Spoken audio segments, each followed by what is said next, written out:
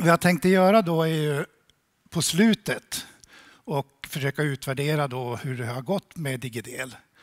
Men jag tänkte börja eh, ändå lite grann med själva problematiken bakom det hela. Eh, och, och det har ju att göra med, med internets utveckling. Eh, om, vi, om vi ser internationellt så ligger Sverige väldigt långt fram. Och vi ska se om det kan... Kommer det några bilder där? Där är en bild. Och om ni ser här, va, så de här kurvorna, det är utvecklingskurvorna, spridningen av internet i tre olika sorts länder. Eh, och den mörka där, det är då Sverige och även en del andra nordiska länder. Och om ni ser från början där vid år ett, det var ungefär 95, då själva internet började spridas till flera. Där man fick möjlighet till att skaffa olika program. Efter, efter ett par år så stack det iväg upp. Men som ni kan se, då den här eh, A-linjen där är då, eh, representerar USA och länderna som var med och själva byggde upp internet från början. Men som ni kan se va, så går ju eh, Sverige förbi på slutet där. Och det som utmärker den svenska utvecklingen är inte ungdomarnas internetanvändning, utan det är de äldre. Och det finns internationellt sett väldigt få länder som har så många äldre som använder internet. Och det är just därför som vår kurva där går uppåt 90 procent. Och eh, om man skulle jämföra med annan teknikutveckling som, som till exempel televisionen. Ingen skulle brytt sig om, om när, 85-90 procent av svenskarna hade television. Ingen skulle bry sig om att studera då vad som händer. Är det ännu fler som skaffar sig eh, eh, eh, television? Va? Men när det gäller internet så är det fortfarande väldigt viktigt att se hur många grupper står utanför. Därför internet spelar en helt annan roll än televisionen enligt den digitala agendan va, som idag finns över hela Europa så ska ju, ska ju så mycket som möjligt av all offentlig verksamhet föras över digitalt. Och är man, är man inte där så står man ju utanför. Och därför är ju naturligtvis det som är bakgrunden till Digidel, hela den aktiviteten, att försöka engagera, få folk intresserade och, att börja använda internet.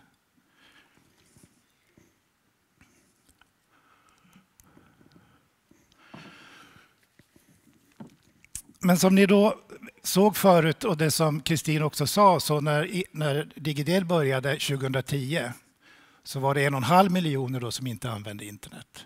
Och, och eh, är man mer noggrann och tittar på sådana som inte använder internet eh, bara lite grann så blir det ännu fler. Men utgångspunkten var 1,1 miljon. Och det här är årets siffror då, där vi frågade varför de som inte använder internet inte gör det. Och som ni ser så är den övervägande delen som säger att de inte använder internet att de inte är intresserade. Och eh, när man intervjuar människor då som, som är lite äldre så får man ofta den här typen av svar. Nu ska jag citera några svar som vi har fått i vår undersökning. Alltihop det här är onödigt. Vi har inte behov av internet. Den som säger det är en tidigare smed och hovslagare, han är i åttaårsåldern. Han är intresserad av jakt och fiske men han säger jag är för gammal för internet, jag har aldrig lärt mig det. Han har en mobiltelefon som de flesta, även de äldre, har. Men de använder sin mobiltelefon bara för att ringa med. Här har vi en 70-årig tidigare undersköterska. Hon säger så här. Vi är emot datorer. Vi är gamla. Och hon har också en mobil. Men om man frågar henne är du intresserad av att skaffa dig internet eller en surfplatta så säger de nej. En annan 70-årig kvinnlig pensionerad ekonom hon säger det blir jobbigt att hinna med i datavärlden. Man är rädd för hur hårt de skruvar det här när man är äldre. Det vore skönt om vi 40-talister får dö ut först. Lite manuellt kvar som trygghet om datorerna slås ut, får man be om. Och det finns liksom en rädsla bland många som inte är intresserade att de kommer att förlora möjligheter till kontakter. Och jag tror att det här är då något som man måste respektera. Det här är människor som har levt sina liv på ett helt annat sätt utan datorer. Och de tycker inte att, att, att eh, det här är någonting för dem. Samtidigt måste man också säga när man pratar om de äldre, som jag sa i början, i Sverige, så är många av dem väldigt intresserade. Och det som är utmärkande då, då att man vill, man vill vara med i samhällsutvecklingen. Och den äldsta som vi har internetanvändare i vår undersökning, hon är 91 år. Hon är en flitig internetanvändare. Och, eh, hon använder varje dag och det är väldigt viktigt internet för henne. Samtidigt kan man säga att, då att precis som många unga så säger hon att kanske använder jag internet för mycket. Och hon säger också sådär, ja, men det händer ofta att jag tänker om jag inte hade internet då blir jag verkligen orolig och deppig. Och det vi brukar kalla att liksom beroende. Svarar man ja på de här frågorna och man säger att det här händer ofta så uttrycker det ett slags beroende av internet. Och det kan man säga, det är inte bara ungdomarna, va? utan det finns även många äldre som är väldigt, eh, använder internet och det är otroligt viktigt för dem att ha de här möjligheterna att söka information och kontakter. Så man, man ska liksom, eh, bland de äldre, att det finns både dem va? och sen finns det då den här gruppen som inte alls är intresserade. Och den där gruppen är intresserad, den har blivit genom att andelen som inte använder internet blir mindre och mindre så blir den här gruppen av dem större och större som inte är intresserade. Det är liksom inte fråga om ekonomi, även om det kan ligga bakgrunden också att, att man är rädd för det. Men också den här krångligheten finns ju inblandat i det här att man inte är intresserad.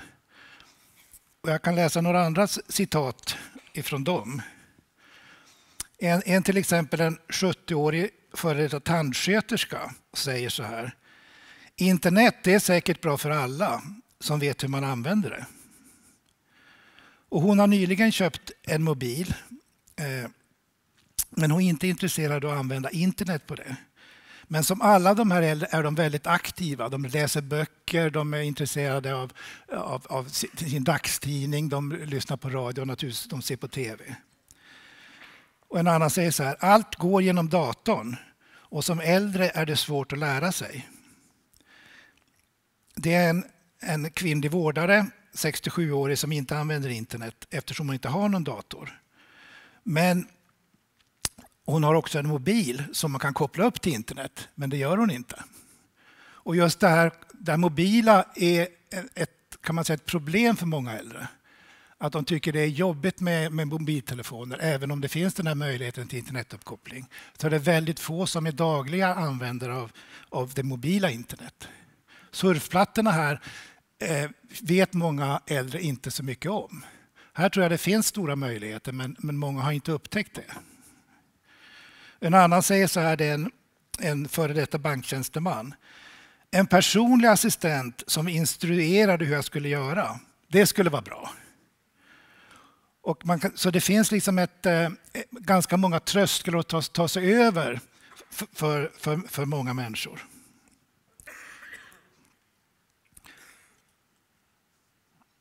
Och jag tänkte också, det var en annan som sa då att eh, eh det här med mobilen, hon använde internet tidigare i mobilen. Men eftersom batteriet i hennes smarta telefon tog slut för fort så tyckte hon det var jättejobbigt att hela tiden liksom eh, ladda upp den där. Så hon la in, den internetmobilen åt sidan. Sen finns det några andra punkter, till exempel då, eh, synproblem står det där. Och det är ju funktionshinder av olika slag. Och I de här undersökningarna vi har gjort de här sista åren så har det legat, det här är ovanligt lågt, va? men det har legat kanske 4-5 procent som uppger det. Men går man i åldrarna här så kan man se att ju äldre man, man blir desto oftare nämner man den typen av problem. Ofta är det synproblem, men det är också motoriska problem. Alltså man har problem med musen och man har problem att, att, att använda knapparna. Och bland de äldre i vår undersökning nu, det här sista året, så är det ungefär 10 procent av de äldre som uppger den typen av problematik. Så när man vill nå de här äldre grupperna så är det här en viktig del av det hela. Att det finns problem att handskas med den här typen av apparater.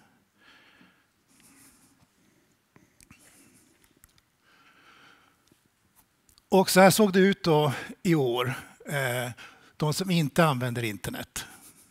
Eh, och som ni kan se, det finns ju naturligtvis hela vägen i alla åldersgrupper, men det är ju framförallt bland de äldre som, som eh, eh de här icke-internetanvändarna finns. Till det här kommer ju sen människor som använder internet men väldigt, väldigt sällan. Så bakom här ligger det ju ännu, ännu större grupper va, som inte är riktigt med va, för att de inte behärskar eh, att använda internet. De gör, använder det bara för någon enstaka funktion. Men sen till det så kommer ju det här med kunskaper. Och det här är då de, de har själv uppskattat sin, sin datorkunnighet. Och då öppnar ju upp det här för mycket större grupper. Det här är inte bara de som inte använder internet utan många av de som använder internet tycker inte att de behärskar internet. Och det här är ju en, en problematik då som, som eh, är egentligen större. Och man vet också då att det här är självuppskattade eh, siffror. Och bakom det, vad man jämför då vad de verkligheten kan, man, om man till exempel tar in dem och ber dem att göra olika saker, så vet man att det här är ofta en underskattning. Kunskaperna om, om datoranvändning är, är egentligen ännu eh, sämre, va? eller folk vet ännu mindre än vad det här anger. Då. Och jag vet att i eh, i England till exempel har de gjort den här typen av undersökningar och där är jag tror de 12 miljoner eller något sånt som de, eh, som de sa att det här behövs eh, ytterligare kunskaper för de här, för de här människorna. Så det finns ett, ett väldigt stort behov av eh, kunskaper om att använda datorer.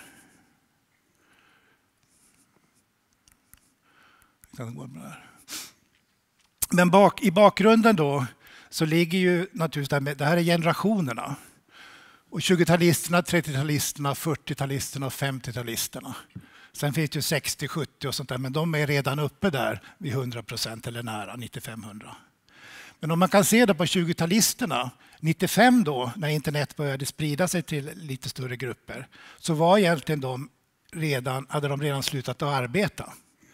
Och, eh, och man kan se då att det är väldigt liten förändringar i den gruppen. De var på något sätt redan borta ur arbetslivet när internet kom. Och de är fortfarande till stor del borta. Nu är de här då 80 år och, och, och äldre. 30-talisterna eh, i nästa grupp, de, de jobbade ju fortfarande de flesta av dem när internet kom. En hel av dem som då hade kontorsarbete och sånt skaffade sig internet. Men även där började det plana ut. Och sen har vi 40-talisterna, det gick väldigt fort uppåt för då de som var kontorsarbetare, var tjänstemännen. Men sen har det liksom eh, planat ut. Va? Och det är den här problematiken då som var 2010, att de här grupperna som var intresserade av att använda av internet blev mindre och mindre. Innan dess var det kanske varje år blev det 3% nya internetanvändare, så blev det 2% och sen 2010 började det ner med 1 internetanvändare, nya internetanvändare. Så när Digidel började va, så började den här gruppen att det blev liksom fler och fler internetanvändare, den började minska. Alltså hela utvecklingen började bromsas upp. Och det var ju där Digidel började. Och tittar man då på de här grupperna så var det här 2010 då där, där Digidel började. Och så kan vi gå framåt till idag och se på de här grupperna. Och då kan vi se den här äldsta gruppen då har det inte hänt särskilt mycket. Det, det finns ju internetanvändare som den här 91-åriga damen som jag pratade om. Hon är ju där. Men många är inte där. Och många, många säger också då att, att de inte är intresserade, de tycker att de är för gamla. Eh, och sen 30-talisterna, man kan se att i alla de grupperna ökar användningen. Och man kan se då den här 50-talisterna, nu är de nästan uppe då i 95 procent. Och det innebär att det finns inte så många fler att hämta nu. Så den här gruppen då som fortfarande inte använder internet är väldigt svår att, att liksom övertala.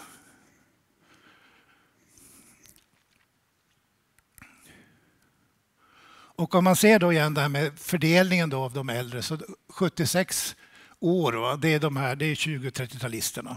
Nu är de tre fjärdedelar av icke-användarna är, är, äldre människor. Då.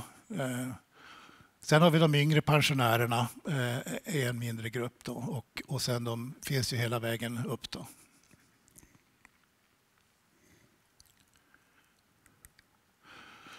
Om man då ska komma till utvecklingen då efter 2010, så det här var då utgångspunkten, en och en halv miljon icke-användare.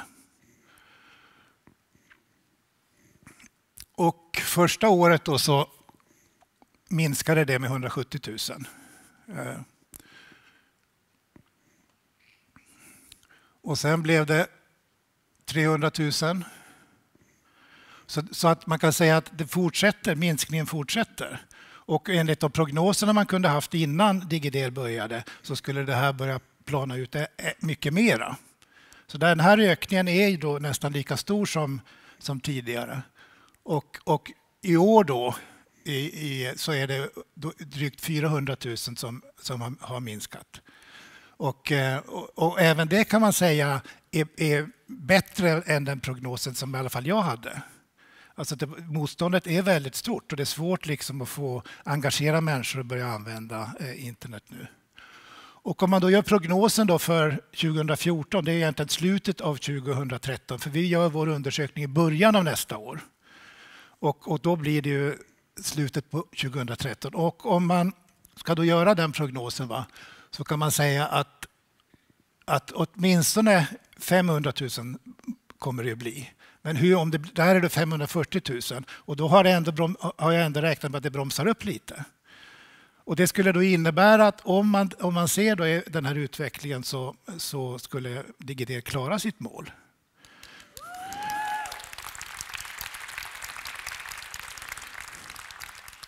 Men då är naturligtvis frågan då, hur stor del har Digidel av den här utvecklingen? Och det kan vi ju inte säga. Eh, men vi, vi kan ju se då att, att, att, att det man skulle förvänta sig det var att det här skulle plana ut då mer och mer. Va? Men det har inte gjort det. Utan det har minskat för varje år har det kommit till nya användare. Och som jag tror då att, att DigiD har hjälpt till då att bibehålla den här minskningen av ut, utanförskapet. Eh, och eh, särskilt tror jag då Eh, att det inte bara aktiviteterna kanske som Digidel själv har varit med om utan överhuvudtaget att man har diskuterat det här har, med, medfört då att många människor som kanske inte själv deltar i Digidels verksamheter har liksom dragits med. Man har börjat liksom fundera på det här, tänka på det här, man har hört andra som har varit, var, varit med och så. Va? Och på det sättet så, så tror jag då att, att Digidel har varit bidragande orsak till att Sverige då lyckats, trots att vi ligger så bra till internationellt, att få minska då de som inte använder internet ytterligare. Ja, och det tror jag är en bra avslutning för, för dagen. Tack snälla. Tack Olle. Vilken fantastisk början på vår dag. Mm. Jag har några frågor till dig, men jag tänkte också förstås be publiken komma med frågor. Men jag börjar med en. Ehm, ute i verksamheten så är det många som vittnar om att det är många nyanlända som mm. behöver hjälp upp på nätet. Det syns inte riktigt i din statistik, Nej. de här grupperna. Kan du berätta lite grann om? Ja, det har ju varit ett problem med, hela tiden med, med den här undersökningen som vi gör, Svenskan och internet. Att det, det bygger ju på att man eh, kan svenska. Och vi vet ju att det finns liksom ett mörkertal här som vi inte riktigt når fram till. Vi har en del intervjuer där det är liksom, eh, barnen som svarar för sina föräldrar och sånt där, men det funkar inte att göra intervjuer på det sättet. Va?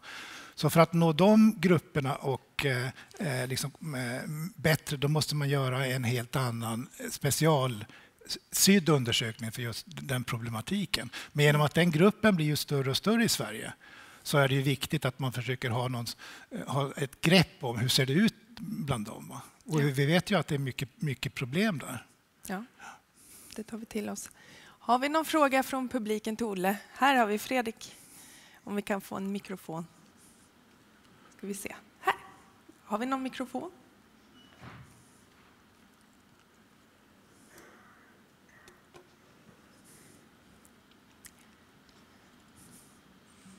Ögonblick.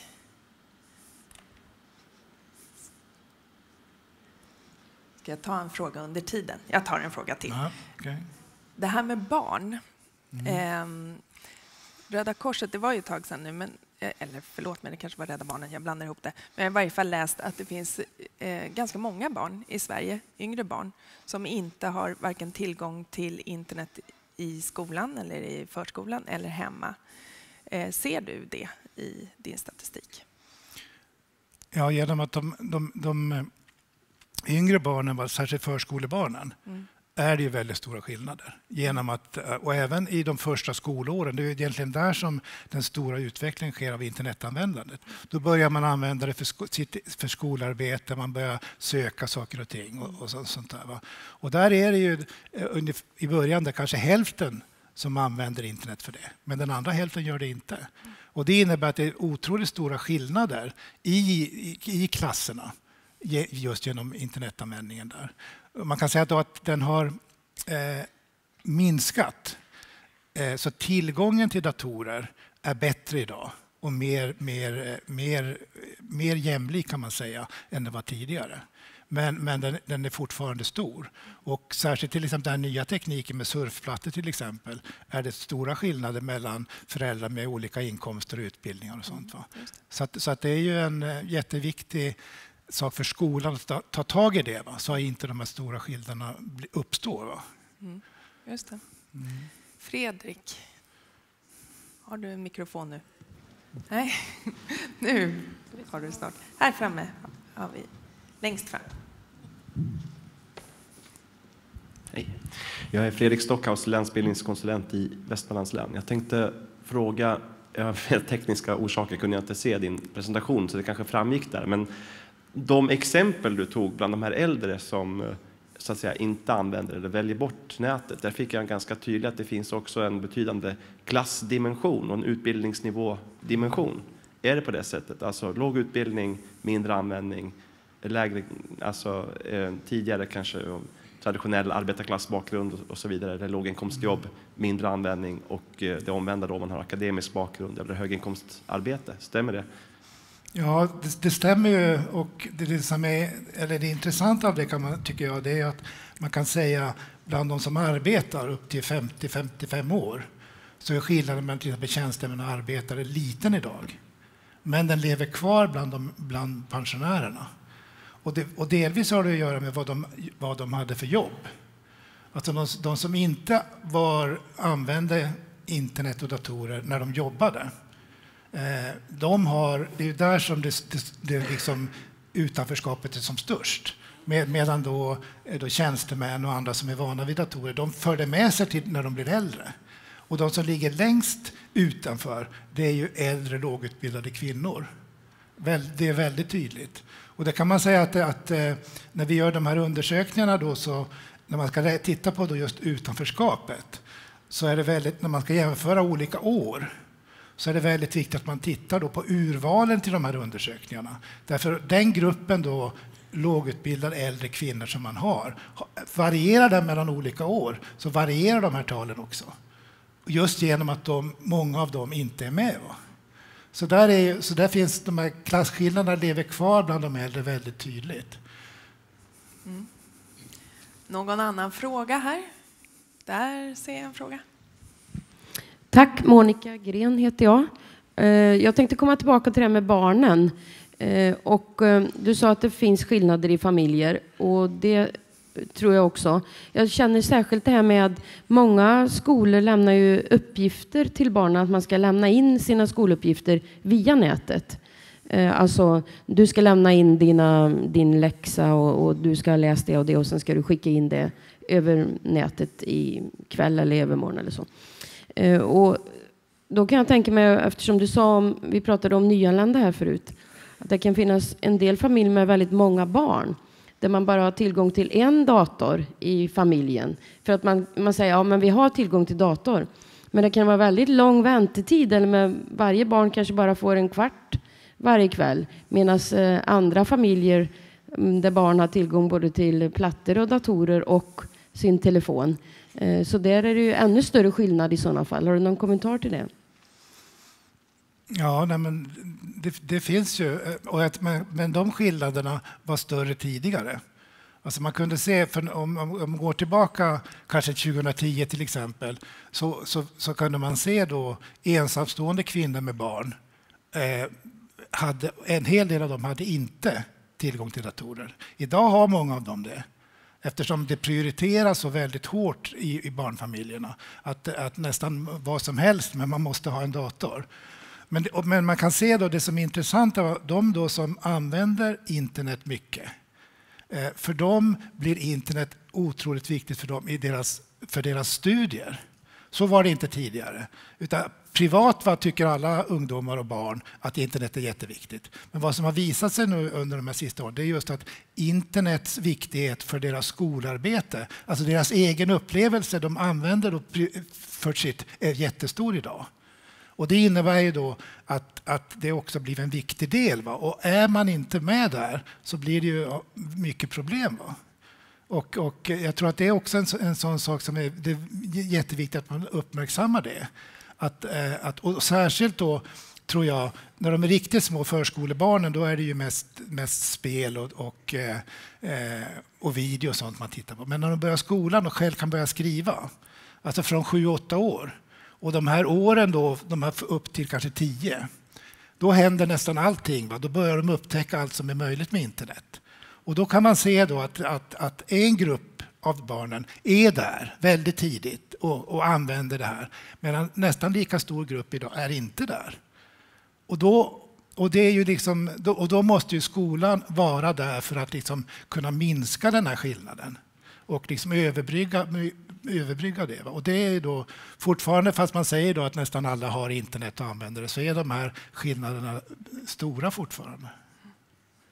Då hinner vi med en sista fråga här, publiken. Se en arm där uppe. Ja?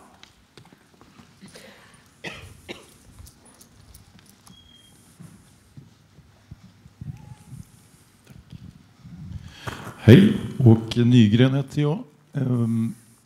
Jag tycker att det är intressant det här med eh, det du nämnde att eh, de nyanlända inte syns i statistiken. Eh, eh och det, det förstår jag ju. Men, men, finns det några planer på att göra någon form av kartläggning eh, av hur det, hur det ligger till med, med delaktigheten, den digitala delaktigheten just i, i den Eh, i det segmentet. För jag, jag tänker på uh, Jimmy Wales uh, keynote här när han kom in på den mobila revolutionen i Afrika. Och uh, jag tänker att då den påverkan som det kan få även på invandrargrupper och nyanlända i, i Sverige. Och, och, att det skulle kunna bli intressant att se resultat som kanske inte stämmer så väl överens med de fördomar som kanske finns. Att de alltid så att säga, är utanför och en del är kanske mer cutting edge och i framkant än många svenskar. Mm. Så min fråga är helt enkelt, eh, finns det några planer på att göra en sån undersökning? Jag kan bara säga först att när det gäller då till andra generationens invandrare, det finns, finns det flera undersökningar om ungdomar. Och där är många av dem är väldigt aktiva och duktiga och de har också ko, liksom, eh, kontakter med sina gamla hemländer och den kulturen och sånt. Så de utnyttjar det väldigt. Men det finns väldigt få undersökningar om äldre invandrare. Jag kan man säga bara hela det, eh, också det här, Svenskan och internet, vi frågar ju människor som är äldre än 75 år. EU-statistiken går bara till 75 år. Så att då, där är hela, alla äldre är liksom borta ur den statistiken. Eh, och, och eh, eh och när det gäller då invandrare, vi har, för, vi har eh, planerat att göra någon sån undersökning, men eh, det kräver en helt annan metodik. För om vi skulle kunna göra den, men då skulle det, tror jag, bli lite grann som vi, vi, vi kan se. Vi har folk som i vår undersökning som är födda utomlands. Men de som är med i vår undersökning de är ofta ganska välutbildade och, och det skiljer sig inte deras användning från svenskarnas. Men det är ju för att vi får inte liksom tag på, vi får tag på den typen av grupp. Va? Så att, så att eh, vi har planerat att försöka göra en annan undersökning, men det är då eh, för att verkligen nå dem så, så, så, krävs det då att man, att man gör det på ett helt annat sätt. Vi, eh, och, eh, det, så att det finns i planerna, va? men eh, jag vet inte om det, när det blir av eller om det blir det. Mm. Tack snälla Olle. Ja. Varsågod, en liten ja. chokladbit på vägen. Okay, Så ses vi och hörs vi.